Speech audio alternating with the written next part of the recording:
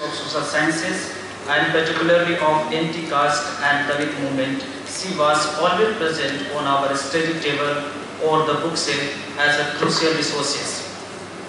In majority of research work on the social movement in Maharashtra, socially deprived section or on feminist movement, we will find the presence of her passionate radical arguments.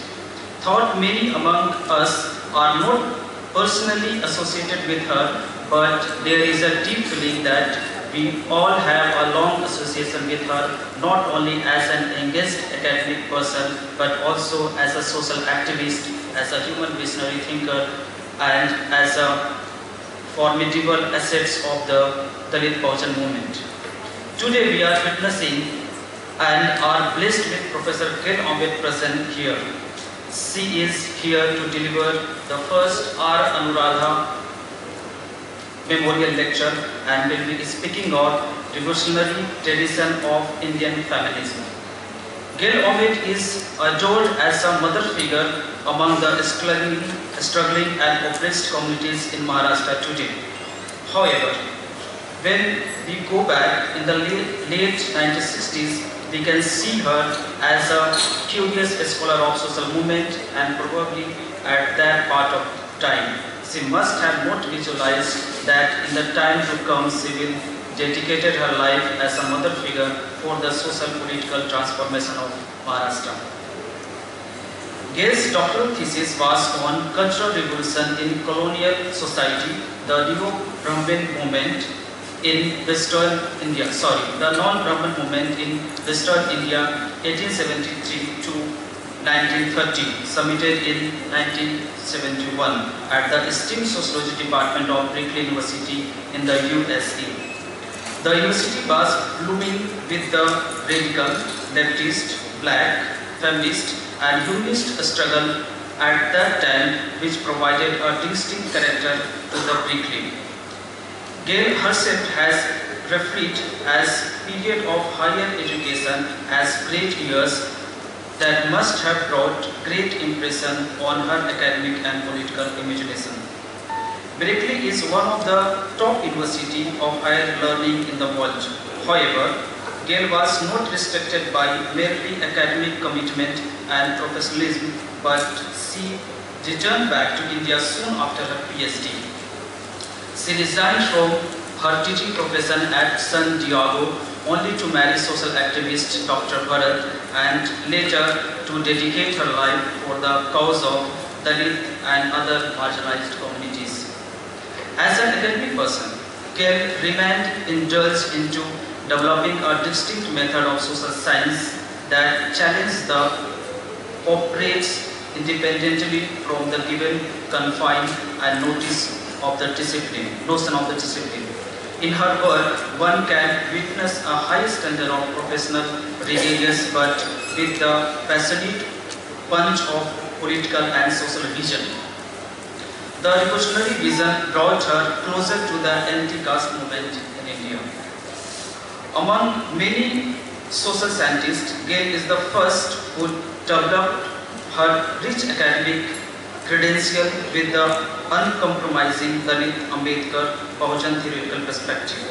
Her book on social movement such as cultural revolt in colonial society, the non-Brahman movement in Maharashtra, Dalit vision, the anti-caste movement and Indian cultural identity, and recently published Understanding Caste from Buddha to Ambedkar and beyond, showcased that Dalit Bahujan movement are not just antagonistic enterprise to create social conf conflict but are morally loaded humanistic program for bringing better social changes. Gail Omvedt's writing on women's struggle bring out the neglected histories, personalities, events and voices of marginalized women, especially by the Dalit Bahujan women to provided the distinct location to the unheard subject in the academic discourse. Importantly, Gail described the historical methodology to deal with our past. Her passion on history reflects how the upper caste laden discipline of history has not provided enough respect to the method developed by Dr. B.R. Ambedkar while studying history. Gail's, Buddhism in India is an impressive work that dealing Buddhism from the Brahminic clutches and sought that Dalit Bahujan agency must look into the old religion.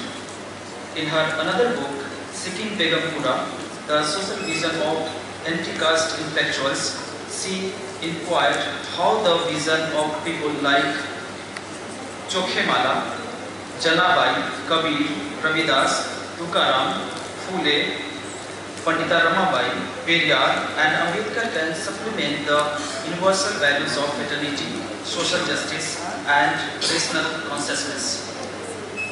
Gail is prolific writer. She has authored close to dozen, two dozen books, numerous research articles in all major national and international journals and newspapers. In her long intellectual journey, she remained committed to the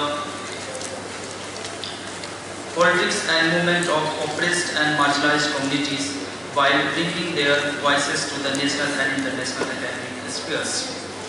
If you read her introduction uh, on Wikipedia or other websites, you will get to know that Gail has been working as a scholar and intellectual at various positions.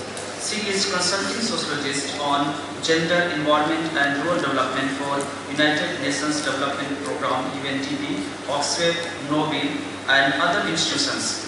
She has served as a Dr. Ambedkar Chair Professor at NISWASS in Odisha, a Professor of Sociology at University of Pune, uh, as Asian Guest Professor at Nordic Institute of Asian Studies, Copenhagen, and Senior Fellow at Nehru Memorial Museum and Library, New Delhi. She has been a visiting professor and coordinator School of Social Justice, University of Pune, and fellow at Indian National Indian Institute of Advanced Studies, Simla. Gail Omvedt is also former chair professor for Dr. B. R. Ambedkar Chair for Social Change and Development at Indira Gandhi National Open University. On occasion, where we introduce the eminent person, we usually stop it by showcasing the step that the person has crossed at personal levels. However, for Omvedt, this is not true. She is not just a academic intellectual or professor at the university, but a dedicated and engaged labor who is helping the constructing and rebuilding the Dalit Bahujan movement, especially in Maharashtra.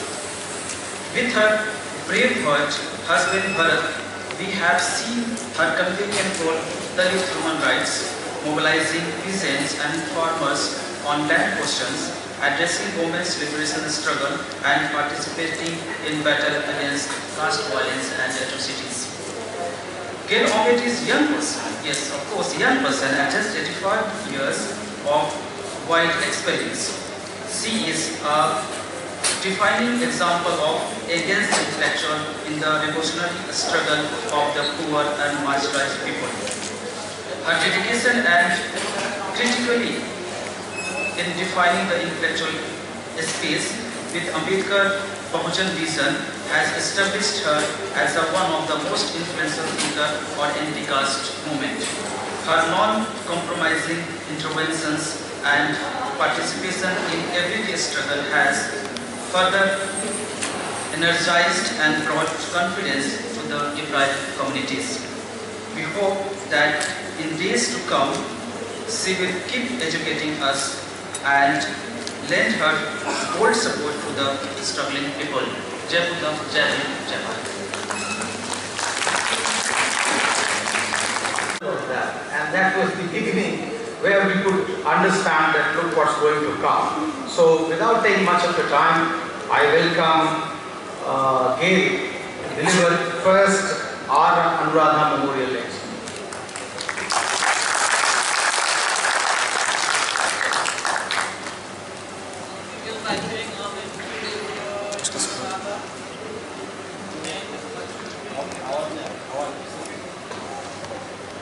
Slide. No, no, no, no. I mean, this one. Very good. Huh? Word feminism is used and understood in different ways by different women groups and individuals. Femi- Feminism could be defined as women demanding equal rights vis-à-vis men. But this conception of equal rights is a conception coming out of the emergence and concept of equality with the rise of modern capitalism, bringing changes in the form of rule and relation of the general population with the state. In this conception, all people theoretically are considered equal in the realm of political society, that is, as citizens. Even if equality did not come to women without struggling for voting rights for years together in Europe, US, and other countries.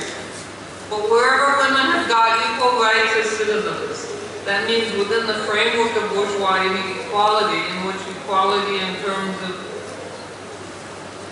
that means within the framework of bourgeois equality, in which equality in terms of gender, caste, class, community, race.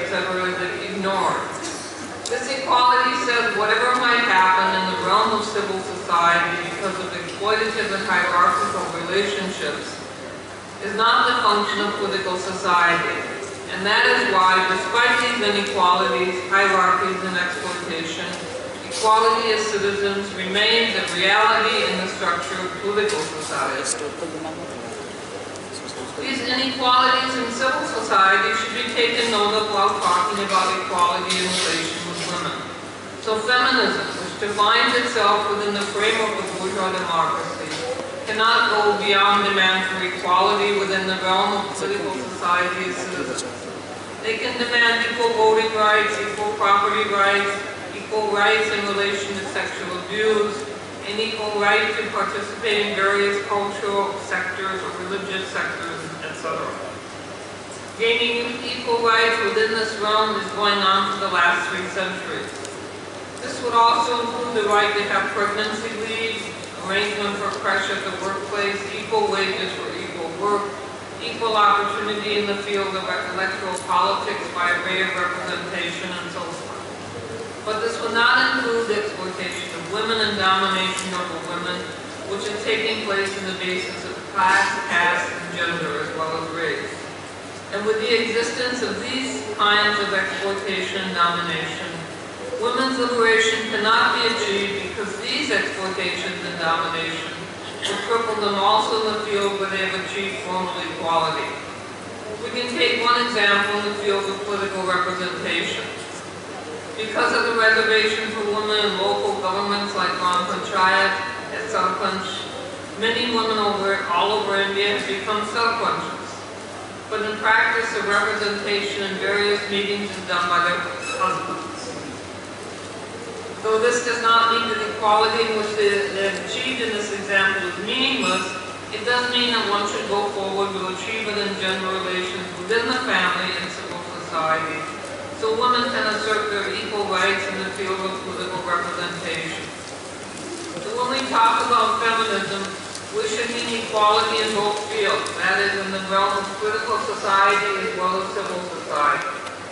Further, we say that the feminist movement should join the movement for all other exploited sections to achieve a liberated humanity which would make distinction of political and civil society redundant by abolition of all forms of exploitation and abolition of the state.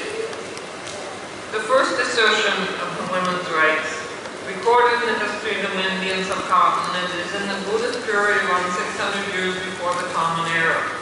Women belonging to the Shakya Sangha Gana, in which Gautam Buddha belonged. That is democratic society with male domination and practice of using non- non-members of the Sanagama as dansa kamakaras, that is bonded laborers. When these women asked for entry into the Buddhist Sangha as a matter of right. There was a debate and discussion on this issue, and finally entry into the Buddhist Sangha was allowed, with a note that the Sangha's life would be reduced because of this decision. Society in the Indian subcontinent was not constituted only of the Sangha-ganas, but societies which created state and other forms of exploitation and production relations also existed parallelly. At the same time, what is generally called a tribal society occupied a large, major part of the geographical areas of the Indian subcontinent of that time. These societies not only did not have state and exploitation around the production processes, but practiced equality within all spheres of life between men and women, except for appointment of tribal head. It seems that the historical evidence from the Indian subcontinent, as well as the world as a whole, show that women were free from all kinds of exploitation and had primacy in equalitarian society without the state, only in the matrilineal societies. Though the stable agriculture just got established and production up to a certain extent, that non-exploited division of labor made it possible to have development of society towards the, on that non-exploitative social division of labor made it possible to have the development of society towards the ensemble of complex production processes and relations of production in period. One can have a vision of a very advanced, ecologically balanced, prosperous, sustainable, healthy, non-exploitative society which transcends the freedom of women in a backward matrilineal society on this backward. This would, in fact, this would be a society not only with women's liberation, but liberating humanity as a whole, in which unlimited development of each individual had become the precondition for unlimited development of all. This means freedom from necessity has been achieved with individual freedom, which doesn't contradict collective development. The first thought about women's liberation or feminism at the world level was brought forward in theory and practice by Mahatma Phule. Phule, on the one hand, did a critique of the enslavement of women in the family, as well as in the sphere of social practice. He went on to propose a comparison between men and women and say that women are superior human beings than men because they do more functions for rearing and propagating the human race than men. In his critique of subgenics of the Dharma, he proposes that the hierarchy between men and women, enslavement of women the sexual division of labor, and cultural derogation of women are socially created things. And that's why they should be done away with. Even criticizes lieutenants for doing personal social practice harmful to women's freedom and liberation. By taking inspiration from the bold thoughts of Mahatma Phule, Tarabai Shinde goes ahead and does a very sharp and scathing critique of patriarchal male-dominated social practices. When one of his nearest colleagues criticized Pandita Ramabai along with the reactionary criticism of her by Brahmanic forces, Mahatma Phule took a clear stand to support Pandita Ramabai, not only against the Brahmanic forces, but also the standpoint put forward by his male colleague. Mahatma Phule brought in a new cultural function and mode of agreement during the marriage, which was the first of its kind, constituting itself the thoughts of women's liberation. He included the oath taken from the bridegroom, which made the bridegroom clearly agree to the practice of giving freedom to the bride after becoming his wife. And the bridegroom also in her song and this function asked the bridegroom to take such an oath. He and Savitribai established the first school in the Indian subcontinent for girls and going against the tradition of considering women, including Brahmin women, as Shudras and denying them the right to get education. Both of them had to face the wealth, wrath of traditional Brahmins and Brahmanic forces who even physically tortured them on the streets. When Mahatma Phule started educating his wife Savitribai, his own father, falling prey to Brahmanic forces and ideology, outcasted both of them and removed them from his family house. All of this practices of this couple inspired Mukta Salve, who came from the untouchable Mang caste, to write a very clear critique of Brahmanic religion and practice, including women's enslavement. Pandita Ramabai, Mahatma Phule and Savitribai came to Pune for establishing her independent Christian center, which went against all established Christian clergy and propagated ideas against the caste system, against hierarchy in the religious sector, and against women's enslavement. This was definitely a great revolt, so great that her courage is still necessary to establish women's rights in the religious field and propagate annihilation of caste in the religions which theoretically don't observe the caste system. One example which is not investigated or explored as yet but should be noted could be found in the history of Shivaji and Sambhaji, establishing their kingship as a pro-people state which constituted itself with many characters of the modern state after the rise of capitalism. Chhatrapati Sambhaji had his own seal as king, but at the same time his wife also had parallelly had her own seal, Sri Sakhi Rajni Jayati, meaning victory to the companion queen. As Sambhaji was a follower of the Shakta sect, which was against the caste system and upheld women's primacy, he could dare to do this.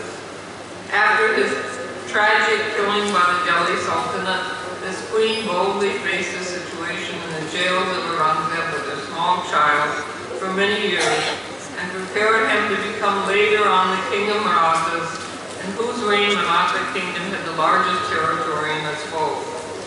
This is one of the examples bringing forward cults like the Shaktas cult, which continuously upheld women's primacy and anti-caste ideology and could become the inspiration for women's liberation. This sect should be studied by today's scholars for understanding the struggle which even medieval society had undergone on the women question. Dr. Babasaheb Ambedkar also upheld Mahatma Phule's ideas of women's liberation and developed further the ideology of modern of caste annihilation in a modern theoretical. His contribution in terms of the Hindu Code Bill, which was one of the important treatises of women's freedom in the society dominated by Brahmanic religion. Because of his women's liberation ideology, we can still see that maybe in terms, maybe in the slums of cosmopolitan cities like Mumbai, Pune, or in any other village in Maharashtra, or some other states where erstwhile untouchables is following his ideology. Women are assertive.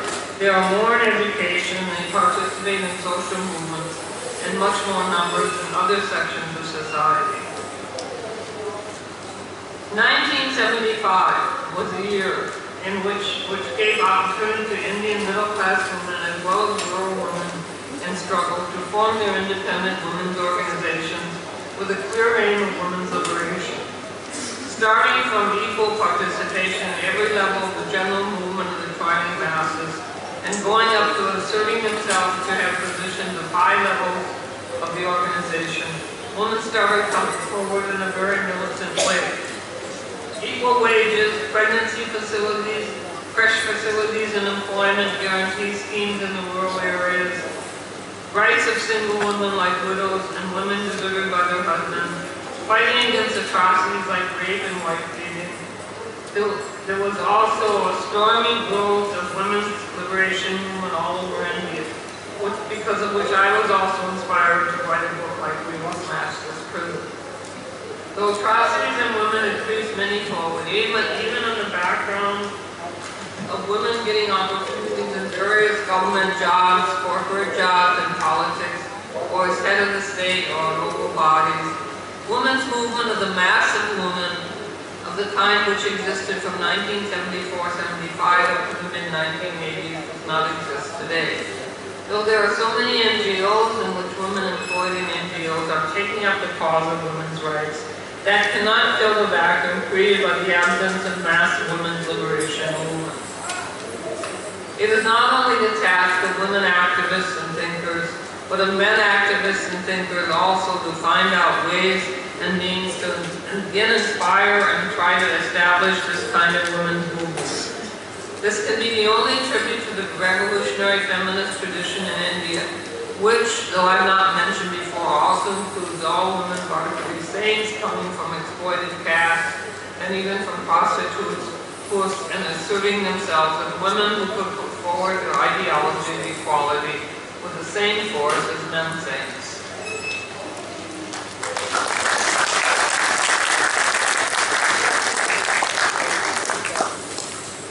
Friends, you have seen that uh, uh, the revolutionary traditions of Indian feminism, uh, I think Gail has very lucidly made in one line.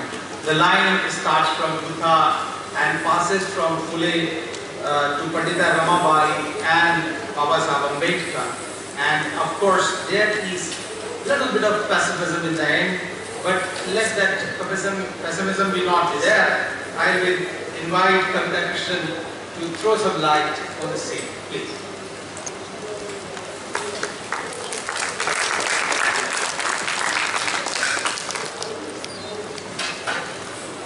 Uh, it's an honor to uh, have been invited here uh, as a respondent uh, to Professor Gail's uh, lecture and I'm really happy to be able to do that. But first I'd like to just briefly express my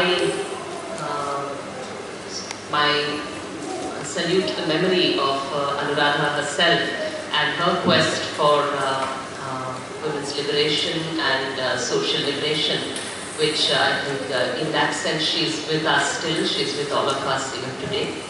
Um, I was asked uh, to participate as a respondent and there are several things that occur to me which, uh, uh, first of course, the, these absolutely central importance which Professor Gail has so correctly laid out, which is that our embrace of the revolutionary traditions in Indian feminism itself, uh, that the Indian feminist movement came to this late, and uh, in fact how important it is to embrace those traditions, which she has outlined so well. I think one of the things that was central to those traditions were that very early on they did uh, put, set up a critique of uh, the manner in which reproduction and social reproduction are organized, especially in our families and uh, structures like that. So the structures of domestic bondage, which of course present themselves in terms of a culture of Brahminism and Brahminical patriarchy. So it presents itself as culture. We are told here today that it's Indian culture and all of that. You have your rulers today saying that to us. And so it's all the more relevant to say that there is an Indian tradition an Indian, uh, uh, a very strong Indian strand, Indian traditions that challenged this head on and said this is a culture that we reject. And this, there is a strong, equally strong, uh, very strong culture of critiquing and challenging this, uh, uh, those uh, patriarchal traditions of Brahminism. The other thing I think is that how do we think about it today when you find that a lot of things are being presented as the panacea, the solution. Whereas if you look at it rather closely, you find that there is a continued reproduction of old uh, structures uh, in newer ways. I'll just cite a couple of examples before I uh, end my remarks. Uh, the example which occurs to me, which I've been thinking about for the last several months now, um, and it ties up actually, I mean, uh, uh, Gail mentioned the name of her book, Smashing the Prisons. And I notice now that this image of smashing the prison is today coming up yet again in the women's movement today. Uh, for instance, I've seen it uh, spoken out among women workers in Tamil Nadu factories and I've seen it used in Delhi's uh, college uh, students as well. They also are using the same metaphor of Pinjra Tod, smash the prison. Now what is this prison exactly and how does it present itself in so many different uh, areas is I think what's interesting. And I think I noticed that uh, uh, successive reports which have, uh, of studies of Tamil Nadu factories that are pro producing for global garment brands. You have young Dalit women workers working there.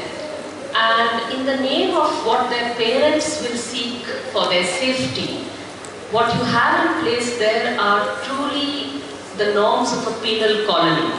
They are not allowed to use mobile phones. They are not allowed to uh, uh, contact anyone outside the factory. They are kept in a hostel, which is a virtual prison under CCTV surveillance 24-7. And they are not allowed to speak to male co-workers. In some of the factories, they are not even allowed to speak to female co-workers. There is no question of being allowed to uh, you know, socialize over a cup of tea, just do normal social socialization, social activities. To the extent that if a woman is found with a mobile phone, she was publicly uh, humiliated, made to clean up the place where the workers spit out And as a result of this public humiliation, one such worker actually attempted suicide, a young girl. And her mother was not allowed to uh, reach out to her to come and meet her for a long time until the trade unions intervened and there was an agitation and eventually she was freed from there. So what explains this kind of bondage? You know, when, when the management were asked why this bondage, their answers were this is our Tamil Nadu culture and the parents will not allow the, young women workers to work unless we provide these conditions. And it was actually noted that in the advertisements they had put out to uh, recruit workers, they had actually advertised many of these provisions as safety provisions. Virtually the same thing you're seeing happening in so many private university campuses and now increasingly even in public university campuses.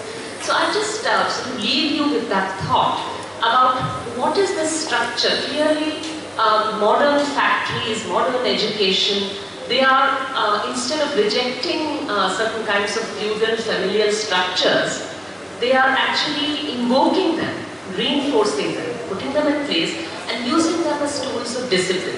I'll also leave you with one other little thought. When I was thinking and reading around this, I found that in China as well, uh, the way in which MNCs function in China, over there also they invoke the image of the Chinese daughter and they have in a foreign embassy, the manager is Chinese and he says, I am like a Chinese father to these young girls. And so he imposes the same kind of patriarchal discipline, which is extremely similar to what has been said about the Tamil factories. The same structures of preventing loitering, preventing uh, socialization, keeping an eye on, you know, he'll say, I know when she's thinking about a boyfriend. That's the time when she needs to be thrown out of the job because she started thinking about things that are forbidden and so on and so forth. So this immense sexual and social control which we know uh, happens in the feudal family and uh, how that is reproduced in a sense even in the modern uh, capitalist, uh, globalized capitalism and uh, it is being reproduced from factories to fields to homes. I think this is something which we need to think about and in which these, precisely these revolutionary traditions, I think help us think about them in a uh, useful and uh, productive manner. One last thing which I just mentioned about you know, where uh, Professor Gail's lecture ended, I would say that I totally agree that you know, the compartmentalization of the women's movement into NGOs, you know, sectoral NGOs, that is an unfortunate development. And uh, we do certainly, I totally endorse the idea that we need, we need a mass women's movement. But I think that uh, I am less pessimistic about the potential and possibility of such a movement because I do see that in recent times, in the past uh, uh decade or so, there are several instances of uh, very powerful assertions from different sections of women. The last, of course, the very latest being just last week, the assertion of the women in the Munnar tea, tea industry, where the tea workers, the women tea workers formed uh, the uh, the women's unity, they asserted, and they told the trade unions and the political parties off, and they, and they were very political, very strategic, very tactical in their struggles, but they asserted their leadership in an extremely male-dominated uh, trade union movement, and they wrested something from the tea corporations, which I think for a very long time tea industry workers have not been able to do. Such movements inspire us. Thank you. Thank you, Savita. Uh, it was uh, nice that you brought up the point and reiterated कि feminism को देखने के लिए पाश्चात्य देशों की ही आवश्यकता नहीं है। बल्कि भारत के अंदर भी जो क्रांतिकारी ट्रेडिशन हैं जो बुद्धा फुले बाबा साहब अंबेडकर पंडित रमाबाई से शुरू होते हैं और वास्तविकता में वो प्रोडक्शन लैंड और कल्चर से रिलेटेड है। लेकिन हमको आ, आ, जो दिखाई पड़ रहा है भविष्य, वो बड़ा उज्जवल है और आंदोलन हर तरफ़ दिखाई दे रहे हैं और आंदोलन का ही एक स्वरूप जो सेक्टोरल दिखाई पड़ रहा था बीच बेंचियों को, वो छोड़ते हुए एक बड़े आंदोलन की आवश्यकता। इसी कड़ी में मैं बुलाना चाहूँगा सीबा असलम फहमी को कि वो आए और अपना वक्तव्य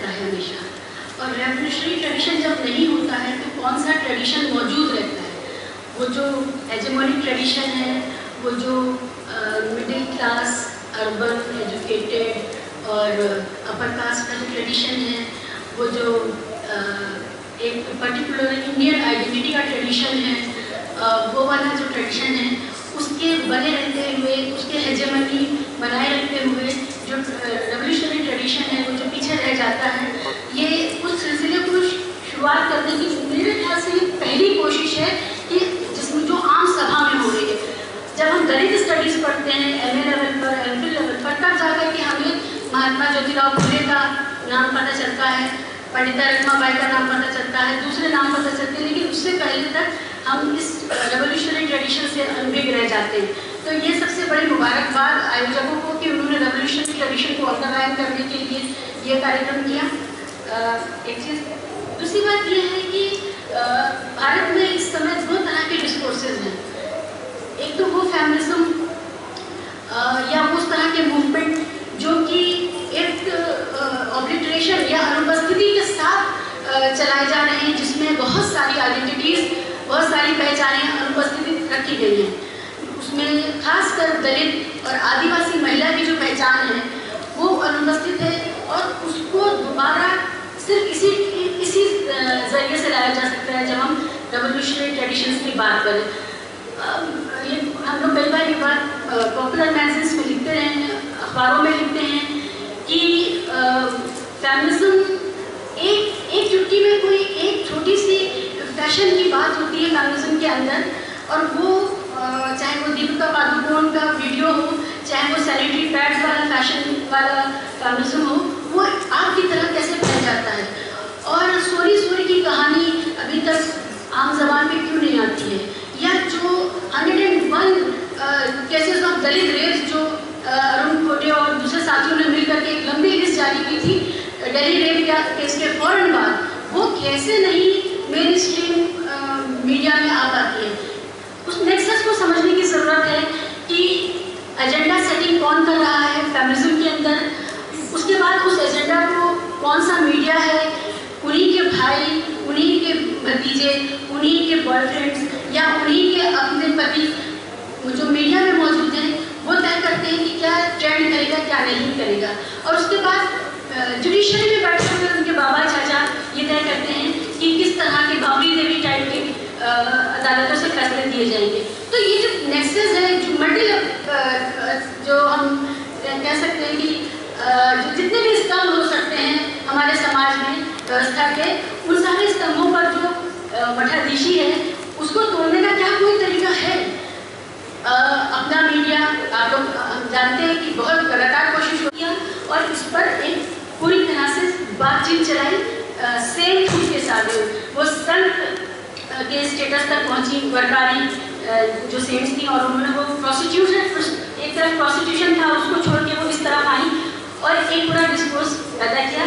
ये प्रोफेसर जेल का कहना है। मुझे दो, एक इसमें बात और जोड़नी है कि आज के समय में हम डेवलपमेंट और मॉडर्नाइजेशन पर जब बात कर रहे हैं तो देखने की ज़रूरत है कि जो भारत के सबसे ज़्यादा डेवलप स्टेट्स हैं, वो सबसे ज़्यादा दुर्व्यवहार कर रहे हैं अपने हाशियाग्रस्त समाजों के साथ, खासकर दलितों और आदिवासियों के साथ। तो ये समझने की ज़रूरत है कि हमें मॉडर्निटी को छोड़ करके टेक्नोलॉजिकल मॉडर्नाइजेशन को अपनाते हुए उसको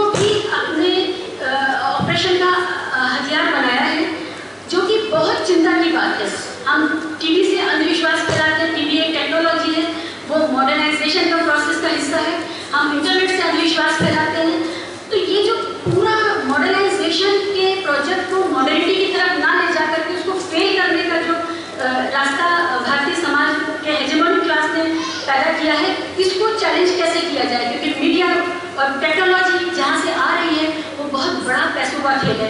उसको हम समझ नहीं सकते, वो हमारे बस की बात नहीं है। तो इस तरह की सभाएँ इस तरह की यादें, इस तरह की जो हमारी कारकर्दगी है, शायद यही एक हमारे पास एक रास्ता बचा है। क्योंकि मॉडर्नाइजेशन और मॉडर्निटी इन दोनों के बीच का कंफ्यूजन भारत को हर तरफ़ मतलब बहुत पॉलिटिकल नहीं करना चाहते इसको, लेकिन हर तरफ़ वोट पैदा कर रहा है, जिसमें गुजरात में सबसे ज़्यादा दलितों के साथ एट्रॉसिटीज़ अब हो रही हैं। हरियाणा में सबसे ज़्यादा दलितों के साथ एट्रॉसिटीज़ अब हो रही हैं, जो भारत के सबसे ज़्यादा विकसित प्रदेश हैं, वो सबसे ज़्यादा दलितों के साथ, आदिवासियों के साथ चिंताजनक व्यवहार कर रहे हैं। तो इस इस डेवलपमेंट को इस डेवलपमेंट को और इस्लामिज्म को दोनों को एक साथ रख करके समझने की ज़रूरत है। Thank you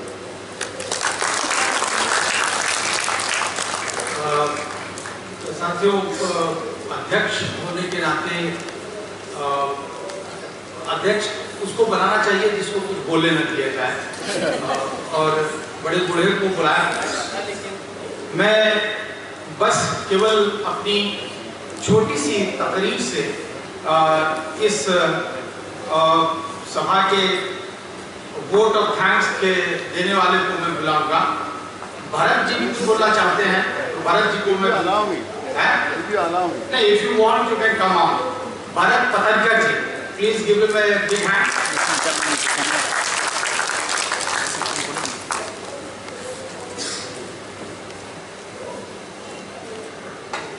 I salute to the memories of Anuradha.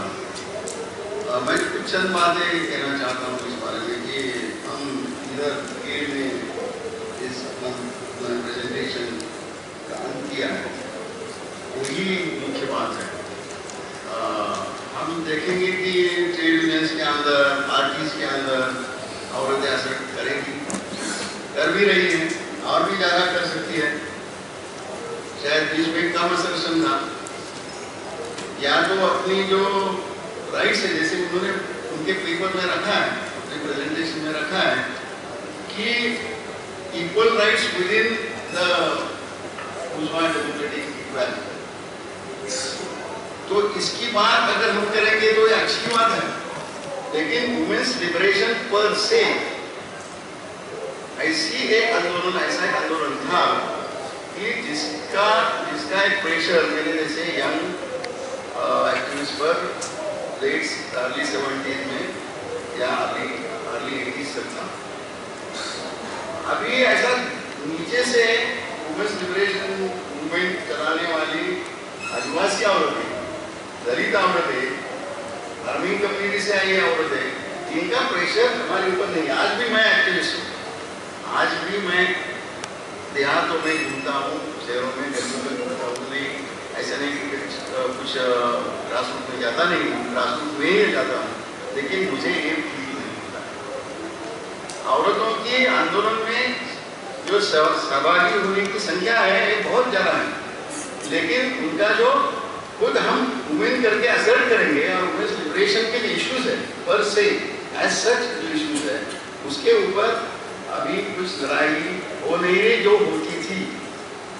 तो हम कॉम्प्लेक्शन नहीं होना चाहिए यही मेरा मुद्दा कि भाई इधर औरतों ने अपने अपने ऑर्गेनाइजेशन में ऐसे किया जैसे आप किए अ, जो की पढ़ाने में जो औरतें उन्होंने असर किया। अच्छी बात है बहुत अच्छी एडवांस बात है। लेकिन दैट इज़ नॉट जैसे कि ये वुमेन सेंट की जो बात है जो जिनको लिखना और पढ़ना पढ़ना अलाउड नहीं था। और जो कास्ट कास्ट और जेंडर सभी से ऑपरेस थी ऐसी गरीब औरतें एक फिलोसफी के लेवल पर जाके अपने काव्य लिखती हैं। ये बहुत अलग चीज़ है। जैसे कि जैसे कि मुझे अभी नहीं लगता है कि हमारे पूरी बाई नाम की आदिवासी औरत थी। एक ठगी बाई नाम की थी, एक, और एक पैसा बाई नाम की थी, जो सालों के घर की औरतें थी। ये कुछ कुछ गाने तैयार करती थी अभी इसे गाने तैयार करने वाली औरतें आंदोलन में गाने क्यों नहीं तैयार करती? ये सवाल है। तो मुझे लगता है कि आप सभी 90 परसेंट प्रेजेंट यंग जनरेशन के लोग मुझे नज़र आ रहे हैं। ये नहीं है आज। Mass movement of the women's liberation as such तो ढूंढना पड़ेगा कि क्या है। क्या है? वुमेन्स लिबरेशन एज सच के इश्यूज़ क्या है? इसकी चर्चा कितनी होती है, मुझे मालूम नहीं। मुझे लगता नहीं कि होती है एकेडमिक फ़ील्ड में भी। तो मुझे लगता है कि गेल के पेपर का जो सबसे बड़ा ये है पेसिमिस्टिक नोट तो बिल्कुल नहीं है। क्योंकि उन्होंने कहा कि इज़ आवर ड्यूटी मैंने बनने की कि ये क्यों नहीं है आज इसको ढूंढना। कल्चर नया आ रहा लेकिन वो जो कल्चर तैयार हो रहा था ग्रासरूट से, वो कल्चर बंद हो गया है। वो अगर बंद ही हो गया तो फैसिज्म बहुत ज़ोर से एडवांस हो रहा है और ज़्यादा ज़ोर से एडवांस हो रहा है। ही उसको रोक सकता है कि जो औरतें सबसे आगे आगे हो और वुमेन्स लिबरेशन की इशू को लेकर अगर आगे बढ़ती है तो वो फैसिज्म नहीं आने की गारंटी बन सकती है। नहीं तो गारंटी नहीं बन सकती। Thank you. Thank you. Uh,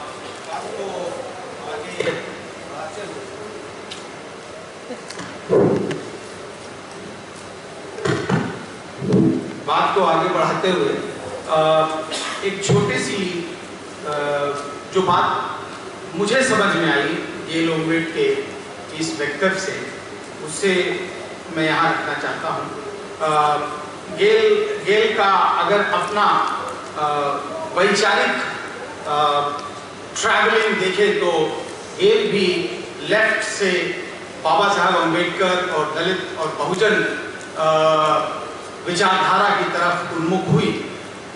उस आधार पर अगर दलित और बहुजन विचारधारा के जो जिन भी थिंकर्स को, जिन भी सोशल रिफॉर्मर्स को यहाँ पर उन्होंने उद्धृत किया, उससे जो मेरी रीडिंग बनती है, एक बड़ा प्रश्न उभर कर सामने आता है और वो कहीं ना कहीं पितृ सत्ता को इंगित करता है।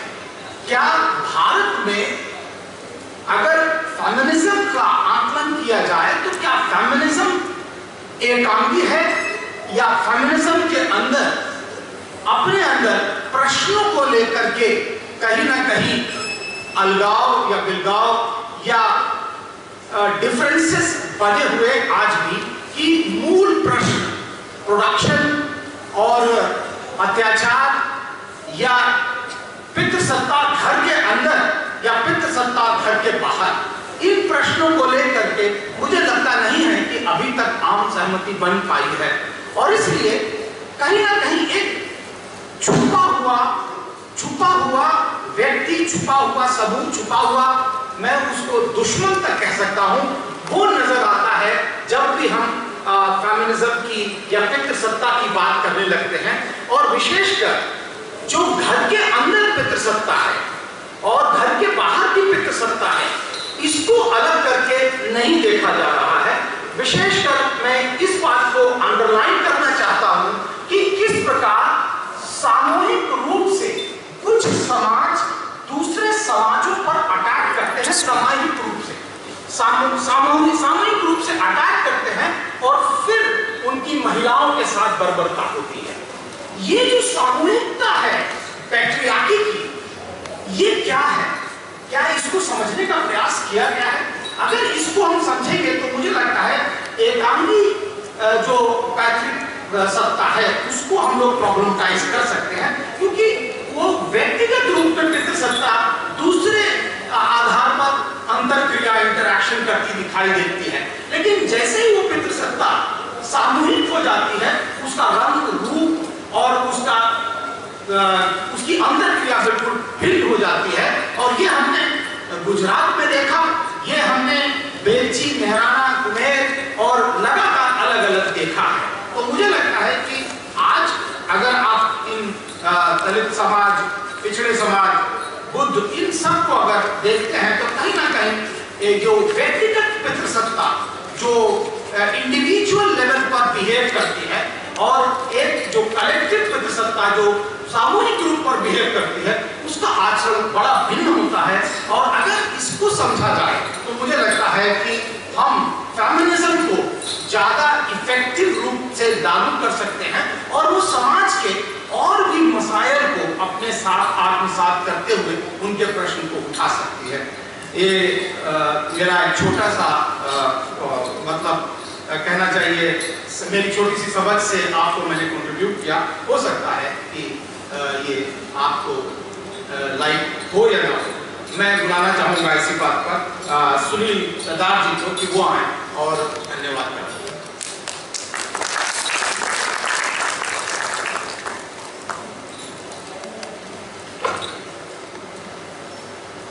जब मेरे पास दिल्ली में आया अनुराधा की मेमोरी की बात की तो पहली बात तो मैं उनके मेमोरी को सलामी देता हूँ। और खेल की तबीयत ठीक नहीं रहती, लेकिन फिर भी इस मेमोरी के लिए अपने पति के साथ वाई, उनका मैं तहे दिल से धन्यवाद करता हूँ। और आज हम इसलिए नहीं आए सिर्फ़ लेक्चर सुनने, हम सब आंदोलन करता लोग एक्टिविस्ट हैं। और हम मौत का भी जश्न मनाते हैं। हम रोते नहीं हैं। आज किसी ने कहते के बोला कि अनुराधा हम हमारे बीच में है। तो कैसे है? शब्द से रहता है। तेरे मेरे सपने। अब एक रंग है तू जहाँ भी ले जाए रही हम संग है ओ तेरे मेरे सपने अब एक रंग है तू जहाँ भी ले जाए रहे हम संग है तेरे मेरे दिल का तय था एक दिन मिलना जैसे बाहर आने से तय है फूल का खिलना ओ मेरे जीवन साथी तेरे मेरे सपने अब एक रंग है तू जहाँ भी ले जाए रहे हम संग है तेरे दुख अब मेरे मेरे सुख अब तेरे पूजा अंबेडकर तेरे ये दो नैना चाँद और सूरज मेरे ओ मेरे जीवन साथी तेरे मेरे सपने अब एक रंग है तू जहाँ भी ले जाए रहे हम संग है लाख मना ले दुनिया साथ ना ये छूटेगा आगे मेरे हाथों में हाथ ना ये छूटेगा ओ मेरे जीवन साथी तेरे मेरे सपने we will carry your dream. Carry the traditions of the women uh, you know light through our light through our words. हम धन्यवाद देते हैं हमारी बहन जी ने वो अच्छा संचालन किया अभिलाषा और सिस्टर स्वप्री गोस्वामी और हरीश वानकरे अनिल कुमार कविता कृष्णन और शिवा जी। आप सबको तहे से धन्यवाद और ऐसा ही अपना कारोबार बढ़ता रहे और आगे चलते रहे। अपने अच्छे शब्द पीछे छोड़ते रहे चाहे हम जाने के बाद भी लोग याद करेंगे कि हम अभी भी ज़िंदा हैं जय ज्योति जय जय